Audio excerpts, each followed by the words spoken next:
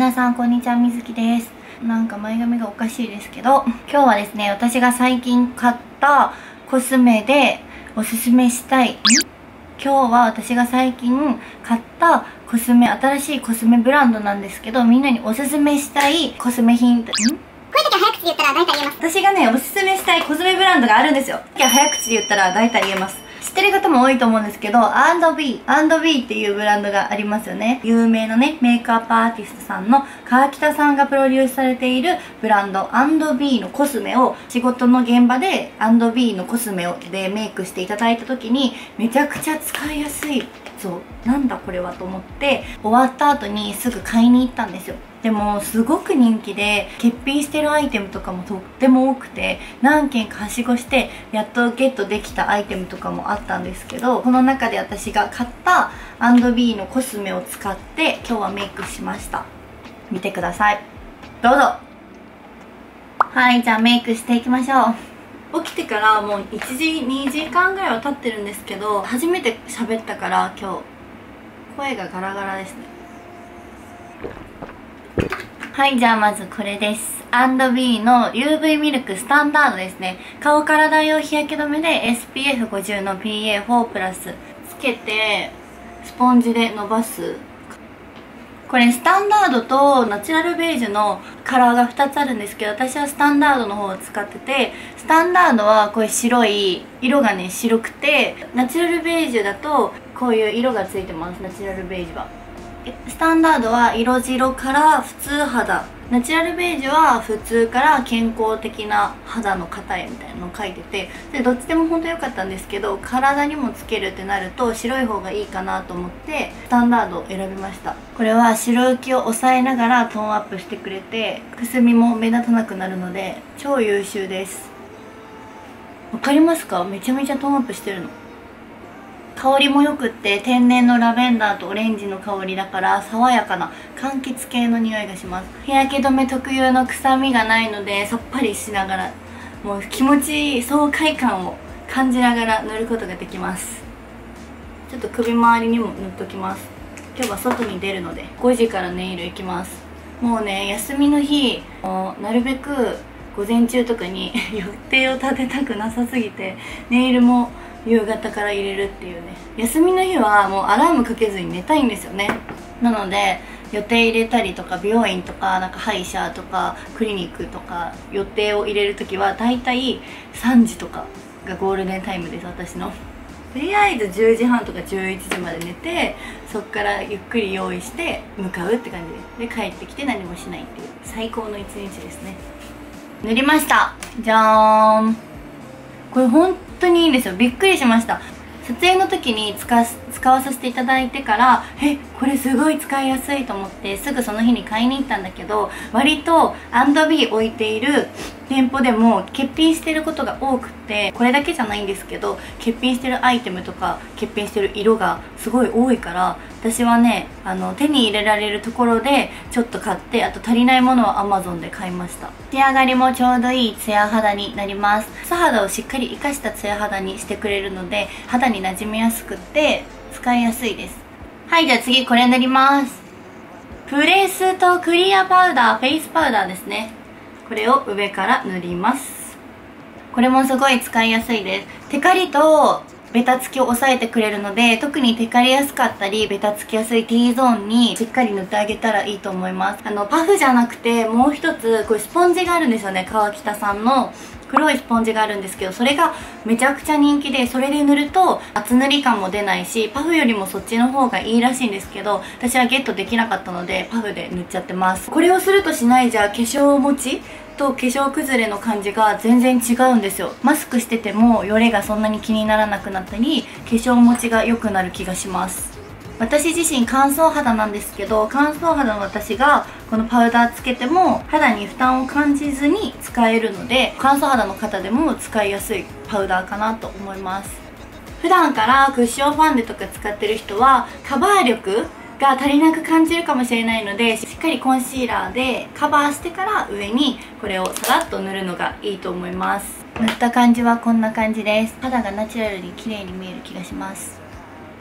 これもねこれもね肌に優しいフリー処方なので専用クレンジング不要で石鹸で落ちるタイプなのでかなり敏感肌でお肌が弱い。私はそうなんですけどそういう人にも肌が敏感で弱い人は使いやすいですよね。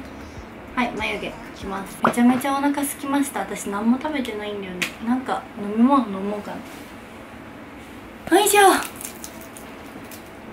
大好きなアーモンドミルク飲みます。いただきます。うん美味しい。あー美味しい。私がいつも飲んでるやつあるじゃないですか。あれよりもなんだろうなんかすごい本格的なアーモンドって感じ。アーモンドそのものを食べてるみたい。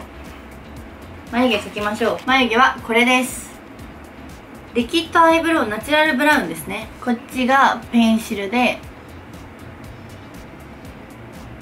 眉毛をいつもペンシルで描き足してるって人はこれだと多分やりづらいから自分の持ってるペンシルでしっかり描き足してからこれで埋めるっていうのがいいかもしれないです。で間をこっちで埋めていきます。あ今日はこのメイク動画を撮ったら恋愛相談第2弾をやろうと思っています。こんな感じです。眉マスカラをつけます。これ。アイブロウマスカラライトブラウンですね。これ。これブラシがね小さめで使いやすいんですよ。ふんわりした眉にしてくれるのね。ナチュラルにふんわり仕上げてくれるっていうのとコスパいいし垢抜けるし使いやすさも二重丸です。おすすめです。あとすぐ乾いてくれるから眉マスカラ苦手な人でも使いやすいかなと思います。本当に乾きやすいのと黒い自分の自眉毛とナチュラルなこのブラウンがしっかり馴染むのが不思議なんですよね。コスパ使いやすさ垢抜け眉にしてくれるのでおすすめです。男梅。男梅大好きです。ハマる。止まんない。美味しい。アイシャドウ塗りましょう。アイシャドウアイシャドウはパレットアイシャドウサンドブラウンを使います。どのカラーも本当におしゃれで何色にしようか迷ったんですけど私はこの色にしてみました。絶妙に自分が持ってない色が入ってたのでこの色を選んでみたんですけどなんかねどの色をベースにしても可愛いんですよねこれは。今日の気分的にはこの少しピンクベースをアイホールに塗ってちょっとおしゃん系な目を作っていきたいなと思います。声枯れてるよねなんか。なんで？こういう時は早口で言ったら大体言えます。じゃあまずこのチップに取ってアイホールに塗っていきたいと思います。あやばいやっちゃったかも。大丈夫かな？えちょっと待って。ここに来てめちゃくちゃメイク下手。大丈夫この目。えー、待ってなんかやばいかも。大丈夫か？こっから巻き返せる。こういう色ってさ一瞬焦りますよね。でも全然馴染んでくれるわ。さすがです。馴染んでくれました。アイホール両目のせていきます。見るとピンクっぽいんですけど塗るとね少しブラウン寄りになるので腫れぼったく見えなくって馴染みやすい色です。はい。なんかマック頼んでさ今ふと思ったけどさ大人になってから食べるマックと高校生の時に食べてたマックってなんでこんなに違うんだろうって思って高校生の時は罪悪感とか本当になくって放課後イコールマックみたいな。でもクーポン使って L サイズのポテトが190円の日とかあるじゃん。今もあるけどそういう時とか絶対行ってたしもう何かとバイト終わってもマックとか空いてるのがマックぐらいしかなかったから10時とかにバイト終わって友達と絶対マック寄って駅の近くのベンチに座って食べて帰ったりしてて何時に食べてもいつ食べても罪悪感がなかったんですよマックって。お財布にも優しいしなんならスーパー私たちの味方マックイエイみたいに思ってたけどなんか今となればさそれを食べた後の自分の体への支障がでかすぎちゃって怖いよね。全然食べるし食べたいってもちろん思うんだけど食べたら肌は荒れてくるわ太るわ。あの頃の頻度じゃ食べれないみたいなさ。もう悲しいよね。せめて夜は食べないのとなんか週23だったのを月1 2ぐらいになってますね今は。まずアイホールに塗りました。こんな感じです。とにかく発色が良くて伸びがいいです。だから一回ボテートついてマジ焦ったと思ったけど 結構手で伸ばしてもめちゃくちゃ伸びてくれるからすごい自然に馴染みました。かわい。い今この色を塗ったんだけど何色にしようかな。うーん。涙袋にも同じ色をのせます。涙袋はちょっとピンクすぎたら危ないので少し塗って手でなじませます。そしたら今塗ったよりも上に塗ると多分腫れぼったくなっちゃうのでここのアイホールの下を攻めていきます。アイホールと二重幅の真ん中中間にオレンジを少し入れます。もう手で塗ります。手に少量取って間に塗っていきますよ。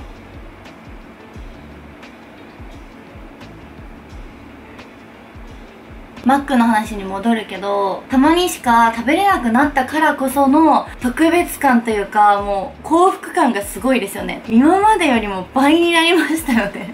マックうまーってなる。やっぱマックのポテトしか勝たん。本当に少量塗りました。こんな感じ。オレンジを真ん中に塗りました。オレンジをね入れることによってよりおしゃれな目元になったかなと思います。ちょっとこの色は私は塗らないでいこうかなと思っててこっちの色を二重幅のところに際にのせます。チップに取って最後ね際にのせます。程よいラメ感でラメラメしすぎてないから全体的に大人っぽいメイクに仕上がると思います。で涙袋にも入れます。でも本当に心から思うんですけど &B はめちゃめちゃコスパいいと思います。コスパもいいし仕上がりもいいし使いやすさもいいから絶対リピートすると思います。おしゃんな目元になった。じゃあ次はインラインを引きます。これです。はい。ペンシルアイライナーブラウンです。アイライナーはねもう黒よりもブラウンを買うことが多くなっちゃいましたね。中引くと自然に目が大きく見えるのでおすすめです最近マジで足痩せしたくて一昨日ぐらいから寝る前に足痩せストレッチとトレーニングを始めたんでなんかそういうの動画にしてみんなで一緒に頑張れるようなダイエット系の動画を上げようかなと思ってるんだけどどう思いますか？でうちに体重計がないの。体重計を今日も買おうかなと思って体重計乗ってダイエット的な動画出せたらいいかなと思ったんだけどもう家に多分ここ23年はずっと置いてないのよ。だからジム行った時に毎回測るぐらいで自分の家で体重計を乗るっていう習慣がもうないから怖い。買うの。わかるかな？こっちだけインラインしました。少し目が気持ち大きくなった気がします。昨日おとといとか店頭2日間経ってたんですけど長時間メイク直しできなくてもこれよれなかったし下まぶたが黒くなってくる涙袋のここが黒くなってくるってこともなかったので持ちもいいし汗に強かったです。はい。はい両面塗れました。目尻とかに跳ね上げしたりしてないので優しい雰囲気のままデカめ効果丸です。ハイライトもあったんですけど売り切れてて買えなかったのでちょっとハイライトは自分のを使います。いつも通り目のここと鼻とおでこと分かる人はハイライトって分かってくれると思うけどあのマスク今してるしさここしか出てないとさ本当にここだけ光ってるとハイライトじゃなくてこれは汗かなって見える時があるのでおでこはなるべく少量でつけてます。じゃあ次はリップ塗ります。本当に心からおすすめのリップ。ココアブラウン。みんなにおすすめして私の周りの友達みんな買ってます。なんか会う人会う人にこのリップかわいいどこのって聞かれます。